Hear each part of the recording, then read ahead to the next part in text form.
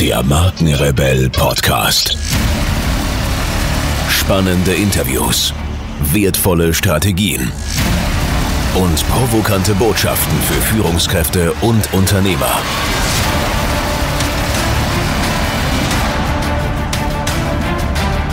Stell dich den Herausforderungen der Digitalisierung und setze als Marke ein Zeichen.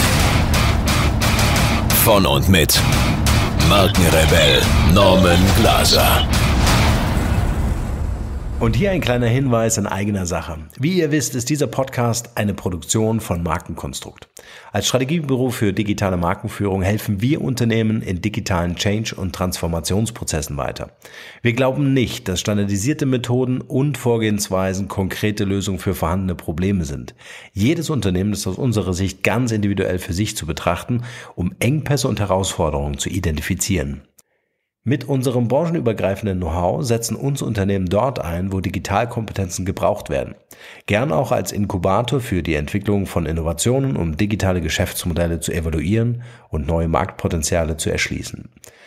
Wer von euch also wissen möchte, inwieweit euer Unternehmen oder Projekt fit für eine digitale Zukunft ist, schaut gern auf unserer Website www.markenkonstrukt.de vorbei und nehmt Kontakt mit uns auf.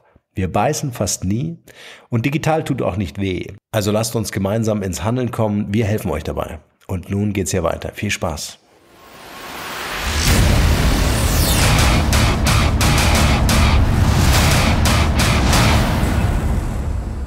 Herzlich willkommen zu einer weiteren und vor allem brandneuen Podcast-Folge von Mild und Extra Stark. Heute mit dem großartigen Michael Pieper. Hallo Michael. Hallo Norm, vielen Dank für die Blumen. Michael, meine obligatorische Frage natürlich: Welches Zitat hast du denn heute auf Lager? Ja, ich guck mal äh, in meine Taschen.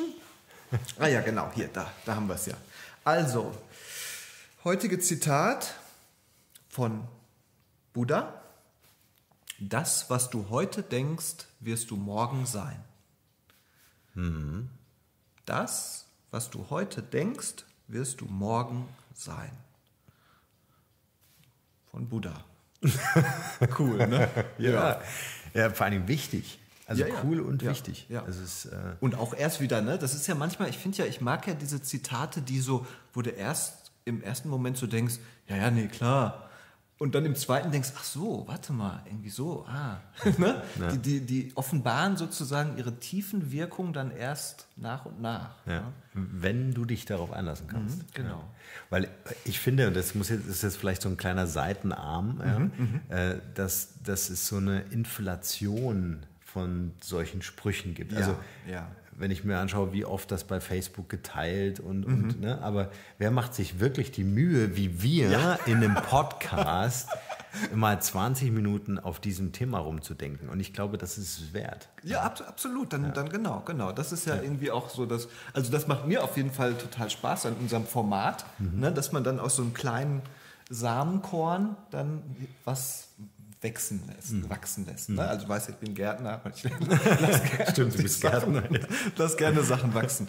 Aber okay, dann genau, dann lass uns doch mal, dann lass uns doch mal Gärtnern im, im Reich der Zitate.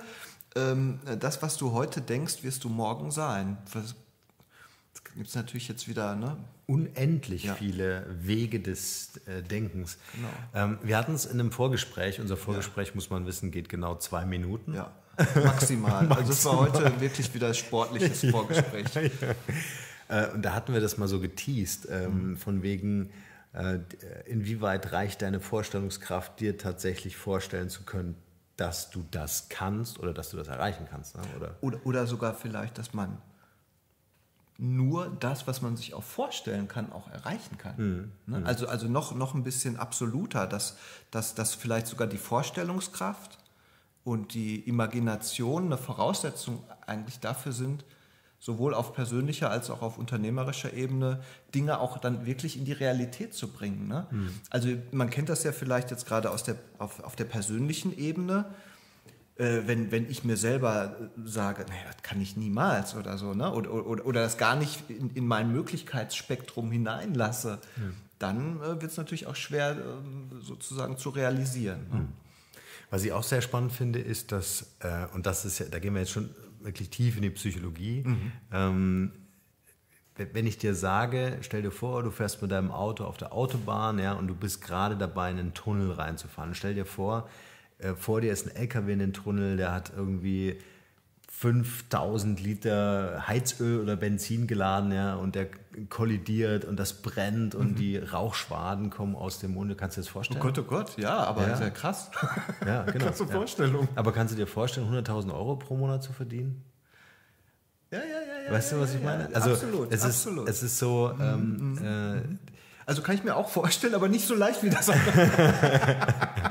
ja, das, das ja, ist so ein bisschen, ja, wir, ja. wir denken, wenn uns das einer sagt, hey, ich zeig dir den Weg, wie du 100.000 Euro im Monat verdienst oder im Jahr oder mhm. das ist jetzt eine fiktive Zahl, ähm, dann ist es so, ah, so ein Scharlatan, mhm. ja, und so weiter. Also da glauben wir nicht so gern dran irgendwie, ja, aber obwohl wir es gerne würden, tun mhm. wir es nicht so unmittelbar wie uns äh, Katastrophen vorzustellen. Mhm. Also das Negative ist oft für uns leichter vorstellbar. Das Scheitern ist oftmals leichter vorstellbar als der Gewinn, ja? als irgendwas zu erreichen. Wahnsinn. Hast du da eine, eine Erklärung für, warum das so ist? Nee.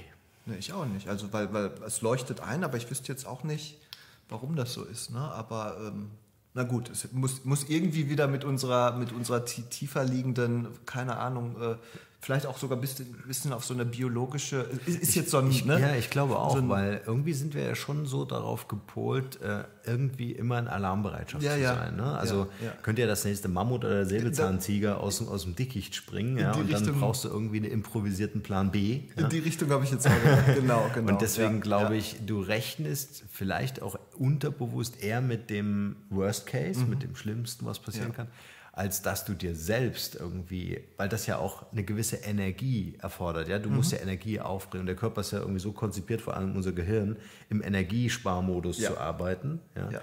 Ähm, und ich glaube, sich Ziele zu setzen, ja, die extra Meile zu gehen, bedeutet ja Energie aufzuwenden. Und ja, das ist, glaube ich, die Schwelle, über die man so in einem selbst gehen muss, um, um coole Sachen für sich selbst einfach zu schaffen. Absolut. Und, und man ich überlege gerade, ich habe es auch, also mir begegnet die Thematik auch immer mal wieder, auch so, dass man die Dinge, die man dann erreichen will, auch tatsächlich so als wie schon real gegeben, schon sich so visualisieren soll. Ne? Also ja. was jetzt ja nicht, ne, man verwechselt ja oft, das taucht ja auch immer mal wieder auf, ist so dieses ähm, Kraft der positiven Gedanken und so in diese Richtung. Aber damit hat das eigentlich gar nichts zu tun, ne? Weil also ich kann mir noch, ich kann mir 50 mal sagen, ich bin total toll, bin total, also das wird aber leider nichts ändern. Ne? Aber, aber wenn ich jetzt wirklich schon eine, eine deutliche Imagination habe und mir das auch in mein Möglichkeitsspektrum integriert habe, bewege ich mich ja, das ist ja, das hat ja im Grunde ganz, ganz einfache psychologische Wirkung, weil ich be bewege mich ja vom Unterbewusstsein, ich bewege mich schon automatisch drauf zu, ne? also ich richte mich aus. Ne? Hm.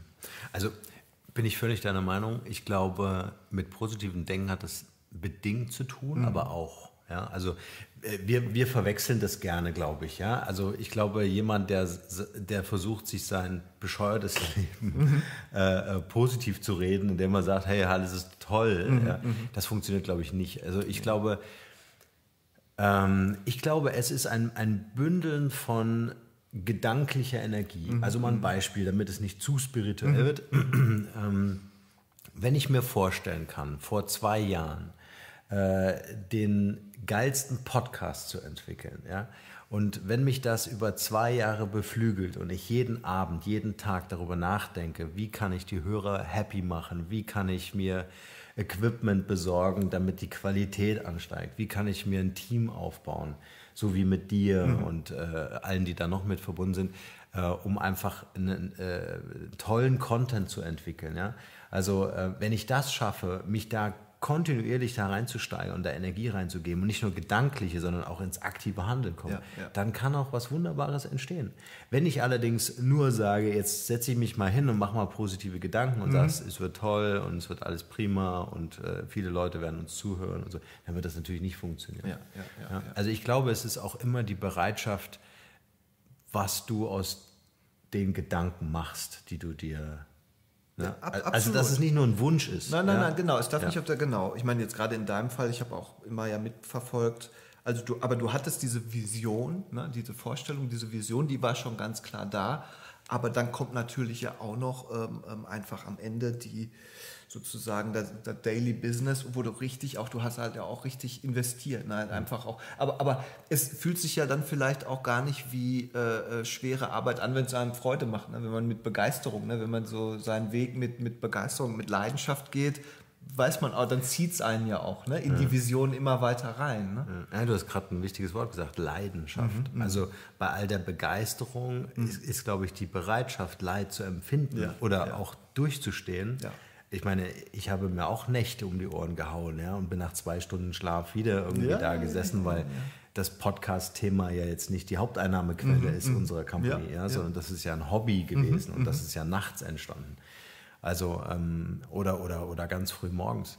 Also ich glaube, Leidenschaft trifft es eigentlich ganz gut, dass neben der, der Kraft deiner Gedanken auch dieses intrinsische, ähm, die intrinsische Bereitschaft da ist, ja. zu sagen, okay, ich wäre auch bereit, jetzt ja. 48 Stunden ja. äh, äh, durchzuziehen, äh, ohne Schlaf oder was, ja.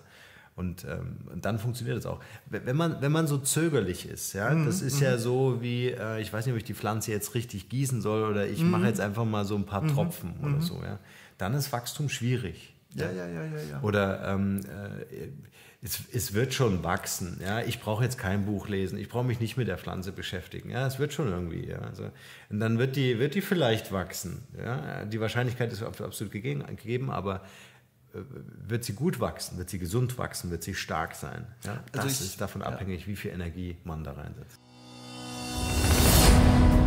Wir sind Valeo und wir glauben daran, dass jeder Mensch das Recht auf ein gesundes Leben hat. Valeo ist eine App für dein Smartphone, die dir aus der Fülle an Daten im Netz die Informationen filtert, die für dich persönlich von besonderer Bedeutung sind. Und das alles in Echtzeit. Wie intelligent Valeo ist, um dir in Gesundheitsfragen zu helfen, bestimmst du allein.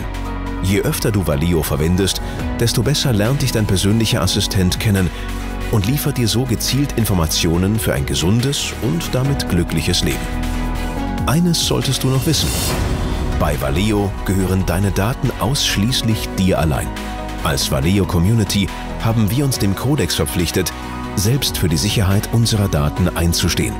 Durch modernste Sicherheitstechnologie sorgen wir deshalb für den besten Schutz deiner persönlichen Informationen. Werde auch du ein Teil von Valeo und unterstütze dieses Projekt mit dem kostenlosen Download der App für dein Smartphone. Weitere Informationen findest du auf www.valeo-app.de. Und, und ich habe gerade auch noch mal gedacht, das schließt vielleicht sogar ein bisschen an. Das, was du heute denkst, wirst du morgen sein. Also es, ich verbinde auch gerade damit, dass man sozusagen auch, wie soll ich sagen, auch eine Verantwortung ja. über seine Gedankenwelt ja. hat. Also natürlich auch, um Dinge in die Realität zu bringen, ein Business, ähm, äh, Ideen, Projekte, aber auch, also ich sag mal so, wie man sagt, man isst, was man isst, ja. äh, ist man sozusagen das, was man denkt.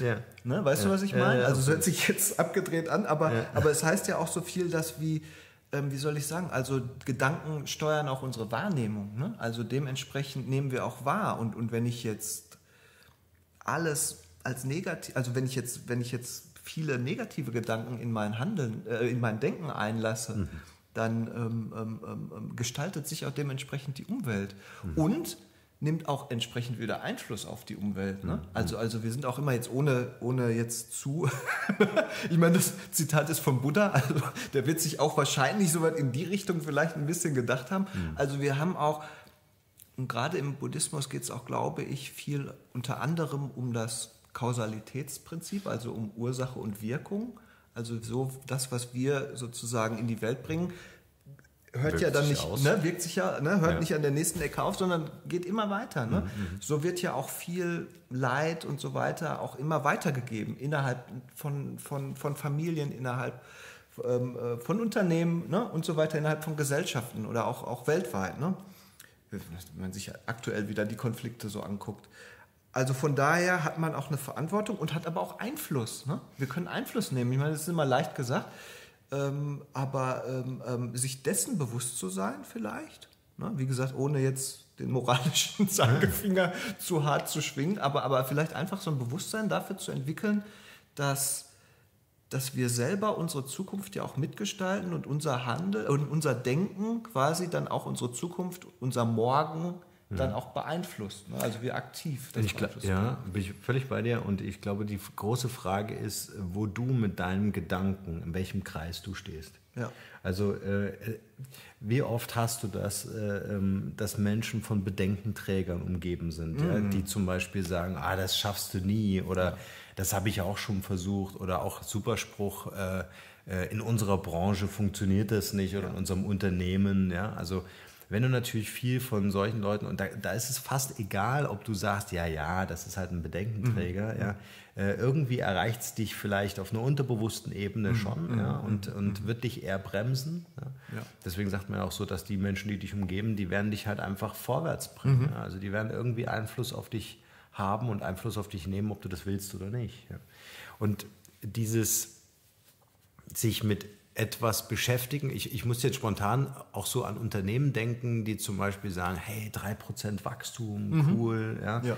Ähm, äh, oder die Unternehmen, die einfach sagen, äh, du, ich will äh, die Gesundheit der Menschheit verbessern. Mhm. Ja. Oder mhm. also die ganz große Vision haben ja. und die nicht nur auf den monetären Nutzen äh, fokussiert sind, sondern die wirklich sagen, was kann ich den, den, den, meinen Kunden zurückgeben? Wie wertvoll kann ich für ja. meinen Kunden werden oder sein am Ende? Und ich glaube, so eine Vision, also wirklich so eine Vision zu verfolgen, ist, ähm, setzt viel mehr Kräfte frei, ja. lässt viel mehr entstehen, lässt viel mehr wachsen. Äh, und mehr meine ich eben nicht im materiellen Sinne, sondern so, so wertvoll sein. Wertvoll und auch, ich habe gerade gedacht, äh, wenn du so ein, wir hatten es ja vorhin noch mal kurz, wenn du so ein Big Picture erzeugst, auch ja. nach innen, auch, also auch um die, die, die Mitarbeiter, so ein, ein Team auch mitzunehmen. Ja. Ne? Wenn du alle sozusagen, wenn alle eine Vision teilen und, und nicht nur ähm, äh, Dienst nach Vorschrift machen, sondern sagen, wir, wir machen hier auch was, was, was vielleicht größer ist als wir selber mhm. und, darf, und gehen dafür die extra Meile. Ne? Nicht, nicht weil, ne, weil wir uns davon äh, versprechen, ähm, demnächst befördert zu werden oder so, so, sondern weil wir einfach auf dieses, auf dieses Ziel auf diese Vision zu, zu rennen. Mhm. Irgendwie, ne? Das ist eine ganz andere Sogkraft, eine ganz andere Bindung auch. Ne? Oder eine, auch eine Identifikation kann ja so gut entstehen. Ne? Und also da erlebe ich dich zum Beispiel, also ich kann mir schon auch vorstellen, dass manchmal muss man dann auch gegen diese, muss man sich so frei kämpfen, also muss man die Vision aufrechterhalten und sich so frei machen gegen die Bedenkenträger mhm. äh, sozusagen, aber dann auch wirklich durchziehen und dann glaube ich, kommt auch ein Punkt, wo, wo dann die anderen unweigerlich mit, ne? wo, wo, mhm. also überzeugt, auch nicht jetzt nur, nicht nur, ähm, hm, wie soll ich sagen, äh, mitlaufen, sondern auch wirklich dann, wo, wo das Ding auch eine, eine Überzeugungskraft dann auch kriegt. Ne? Ja, ich glaube, ja genau, ja, denke ich auch. So ein Big Picture muss halt unmittelbar auch mit dem Team selbst zusammenhängen. Ja? Mhm. Also mhm. wenn ich jetzt als Unternehmensinhaber hergehe und sage, mein Big Picture äh, ist 100% mehr Umsatz, äh, dann hat das in ja. der Regel wenig mit den Mitarbeitern zu tun. Ja, Vor allem dann nicht, wenn sie noch nicht mal eine Unternehmensbeteiligung haben. Genau, genau. Aber wenn ich hergehe und sage, okay, wir wollen in unserer Branche total wertvoll werden oder sein, also äh, kann ich mir schon gut vorstellen, dass es dann wirklich Leute im Unternehmen gibt, die sagen, hey, darauf habe ich Lust, ja, da will ich mitmachen, da will ich dabei sein. Ich will. Und, und dann ist ja auch manchmal cool, wenn dann eine kritische Masse sozusagen mhm. erreicht ist, dann ist auch dann, wenn die Lawine einmal ins Rollen kommt, dann gehen auch alle mit. Ne? Also oder, oder dann kriegt es so eine Eigendynamik. Mhm. Ne? Aber was ich dabei noch wieder, weil ich komme ja dann eher, ich sag mal, eher aus der, aus der Angestellten-Sicht, dass ich auch immer denke, dass natürlich trotzdem auch wichtig ist, dass, also du brauchst, du musst die Vision schon reinbringen, das Big Picture, aber ich sag mal jetzt, das Big Picture, zumindest musst du die Leute das mal ausmalen lassen.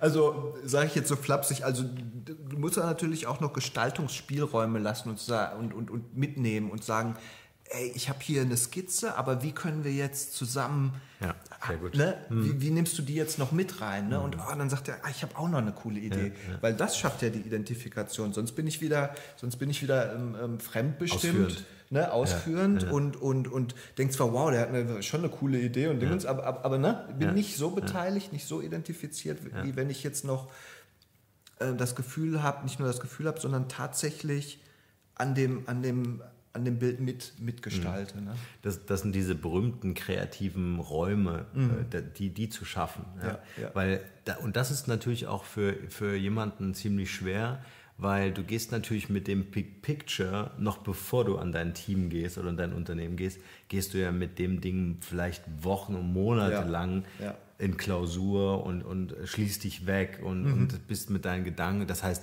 alles ist so polarisiert auf Ja. dieses Big Picture, ähm, sodass du dann auch nicht verstehst manchmal, Ja, klar, wieso klar. das in Frage gestellt werden kann, wie, wie äh, vielleicht auch andere Ideen entstehen können. Und du vergisst dann auch zu sagen, okay, ähm, oder, oder es ist ziemlich schnell, dass man da, da nicht fokussiert und darauf achtet, dass man sagt, okay, jetzt muss es hier einen kreativen Raum geben, äh, damit die Leute, mit denen du arbeitest, dein Team, halt dann auch, ähm, äh, wie soll ich sagen, äh, bedeutsam sind, ne? also sich einbringen Ja. können. ja, und es darf ja nicht spielen. nur darum gehen, weil es muss natürlich auch um die Sache gehen. Weißt du, am Ende muss es wieder dann um die, müssen alle eigentlich von quasi von ihrem Ego dann wieder zurücktreten und auf die Sache. Da was ist wirklich jetzt gut für die Sache? Also ich stelle es mir auch gerade nicht leicht vor.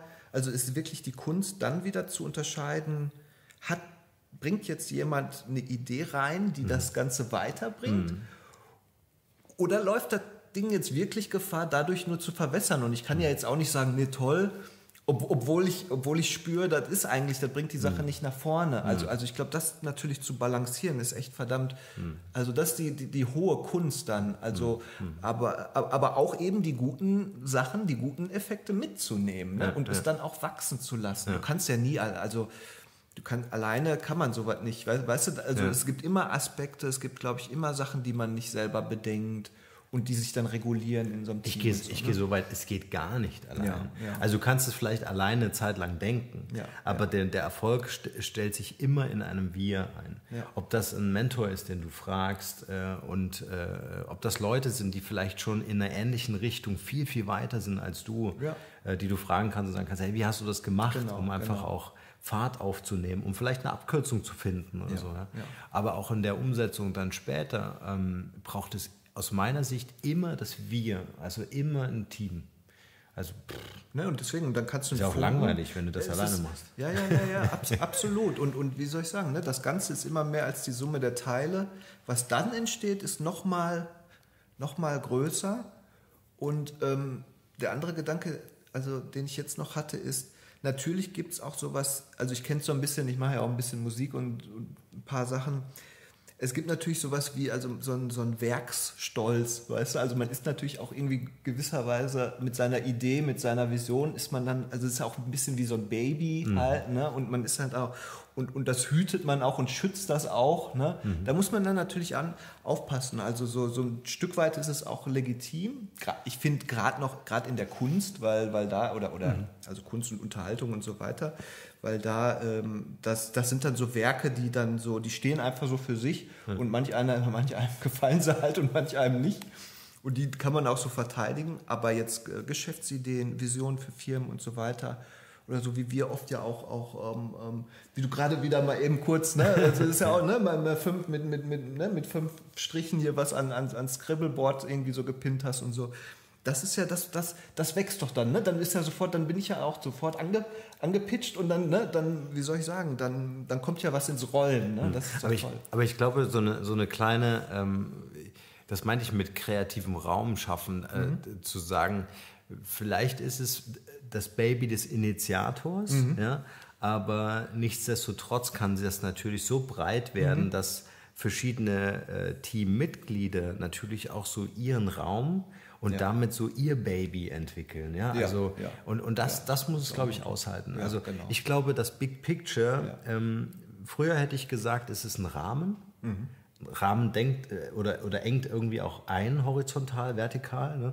Aber ich glaube, so ein Big Picture könnte eine gute Plattform sein, auf der man dann äh, ist ne, auch ein schönes Bild, ja. mit, mit, mit Leuten zusammenarbeitet, die dann so ihr Baby innerhalb des Ökosystems finden und Ja. das dann mit Leidenschaft vorantreiben. Absolut, weil, weil das ist ja auch, ähm, das kenne ich selber auch manchmal, wenn du dann mit der Plattform sozusagen das Spielfeld schon mal eröffnet hast, ist ja auch nicht schlecht, weil dann kannst du auch innerhalb des Spielfeldes, gibt es immer noch genug, weißt du, so, so, weil mich macht das zum Beispiel auch, wenn ich jetzt bei, in Kreativprozessen also ein weißes Blatt Papier oder, oder noch keinen einzigen Ton gespielt. Also das ist ja, das kann einen auch überfordern. Weißt du, was ich meine? Also ja. aus der Un Unendlichkeit zu schöpfen ist halt auch immer, kann auch hart sein. Deswegen, wenn du dann schon mal, ne, du hast schon mal die Plattform, du hast schon mal so und sich da dann ne, mit zu integrieren, da dann eine, eine Nische oder ein schönes Teilprojekt oder sowas, kann ja auch, kann ja, ja auch, ähm, ich glaube, das hilft auch vielen Menschen so. Ne? Wow. Cool. Dann lassen wir das genauso stehen an dieser, ja. äh, an dieser Stelle und machen das Ding hier zu. Hier nochmal der Aufruf an alle unsere Hörer, äh, mit uns gerne in Interaktion zu treten. Im Messenger-Service uns eure Zitate äh, zu übermitteln oder auch Gedanken zu bereits ja. Äh, äh, gelaufenen Zitaten Macht natürlich auch mehr Spaß, das irgendwie in der Community zu diskutieren. Und was der Michael vorhin angesprochen hat, was wir hier auf das Board gekritzelt haben, werden wir vielleicht in einer der nächsten Folgen mit euch einfach mal diskutieren. In diesem Sinne, nur das Beste und bleibt rebellisch von uns hier und bis bald. Ciao, ciao. Ciao.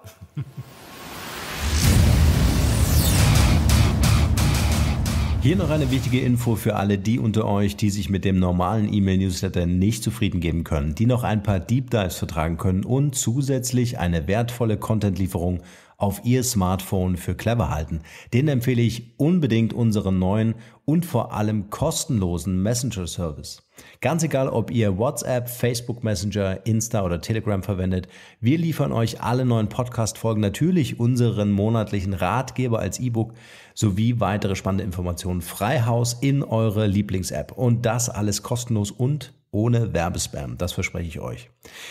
Geht dafür einfach auf unsere Website www.markenrebell.de und klickt im Menü oben auf den Punkt Service. Probiert es einfach mal aus. Es ist kinderleicht und seid gespannt, was hier in den kommenden Wochen so alles abgeht.